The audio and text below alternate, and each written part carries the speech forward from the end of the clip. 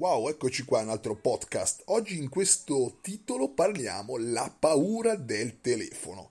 Andiamo sempre con qualche effetto per iniziare velocemente.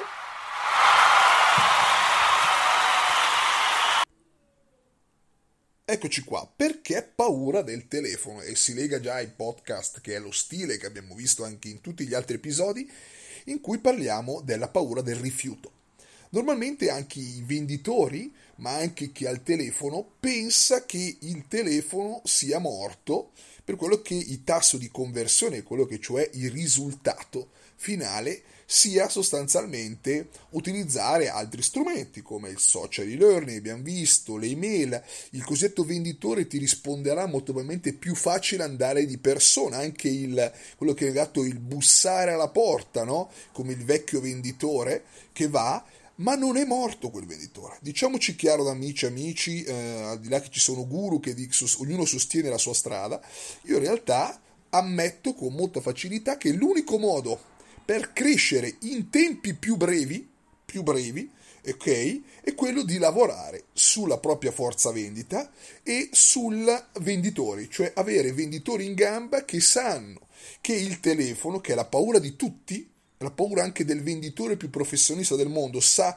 il telefono è di per sé qualcosa che deve avere familiarità, deve entrare in contatto con loro, deve avere, è normale perché il fatto del rifiuto, del no, dello sbattimento, del mettere giù, ok? Ci sarà. Però guardiamo alcuni dati. Normalmente una telefonata può avere tre scenari. Uno, un terzo ti dirà sì, un terzo ti dirà no e un terzo ti dirà forse. Questi sono già gli scenari che tu avrai davanti. La, co- la capacità è trasformare quei, quelli che sono forse più velocemente possibile in no o in sì, senza perdere tempo, e il no averlo quanto prima. Prima avete il no, più telefonate potete fare. Ok? Sulla vostra lista. Per quello poi, come voi sapete, è ovvio che la lista più è profilata avete l'ok, ma ricordatevi che non dovete perdere tempo se la lista non è già profilata, la prof- andrete voi a profilarla nel tempo con il numero di chiamate. Per quello il concetto è fate qualità moltiplicato per quantità. Se non avete in mente questo ragionamento, quantità per qualità o qualità per quantità, perderete tempo, ore prima di prendere in mano il telefono. Il telefono è qualcosa di quotidiano che la vostra azienda, è questa domanda che faccio voi, avete una persona che dedica un'ora, due ore al giorno o un'ora al giorno costantemente su prospecting? Questa è la domanda che dobbiamo porci tutti noi. Questo è quello che permette la quello della creazione delle liste o pipeline, come vengono chiamate, cioè delle liste di attività commerciali. Questo è quello che dovete ragionare in azienda, cioè avere delle liste commerciali costanti. Non farlo ogni tanto, pensando che il marketing o tutto il resto possa dare il risultato. Se non c'è la benzina dal basso, e che la pentola si, risco- si riscalda grazie al gas sotto, non perché si riscalda grazie solo al sole che è il marketing. Ok? Poniamoci questo piccolo concetto insieme. Ora, andando alla telefonata, la paura di tutti, molti avranno questi alibi che vi diranno, come ho detto, a più di persona. In questo periodo mi ricordo ancora eh, il oggi dicono molto devo andare di persona, non posso fare gli incontri. Oggi la videoconferenza è diventata più o meno un must per tutti, ma io mi ricordo ancora che molte persone no, vogliono vedermi di persona, se no non chiudo il contratto. Ok, questo è reale. Questa è la sensazione che ho sempre avuto anch'io, molti anni fa, e adesso vi posso dire che è molto meglio avere un no in videoconferenza che andare due ore per andare da un cliente.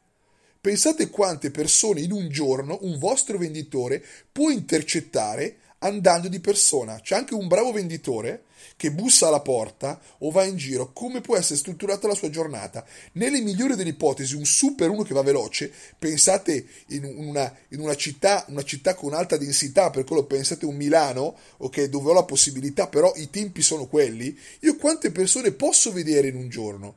Cioè, eh, al di là dei rifiuti, cioè io se tutto va bene, molto probabilmente in un Milano arriverò a sentire 5-6 persone, eh? Ok? Tutto quello che posso fare in un'ora di telefonate, che ne posso sentire 25 o 50 in un'ora. Cioè, io posso sentire 50 persone in un'ora, contro 6 al giorno.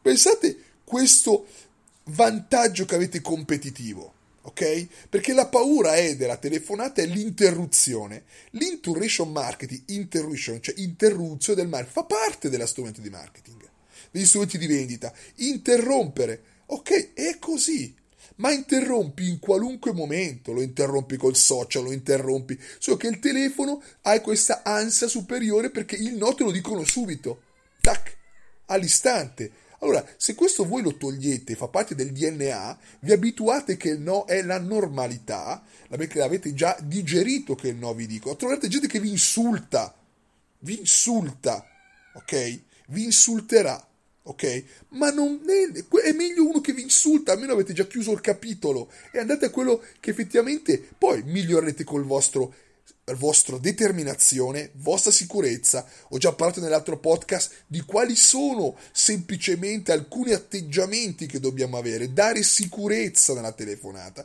Vi ricordo la domanda che ho fatto anche nell'altro podcast, non dire quando può per lei. La incontro in ufficio, guardi, ho un buco libero tra i vari clienti, può venire alle 4, può venire alle 3, questa è la domanda. Lui poi vi dirà no, non posso, gliene proponi un altro giorno dopo, preciso nell'orario. Guardi che guardo l'agenda un secondo, tac alle tre.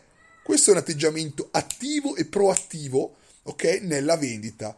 Quello per dire ancora che se non avete una leva di vendita forte e determinata, in un periodo come questo, ok, che c'è bisogno ovviamente di persone che hanno, fanno numeri, Piccolo, qualunque azienda ha bisogno di fare quel N telefonate.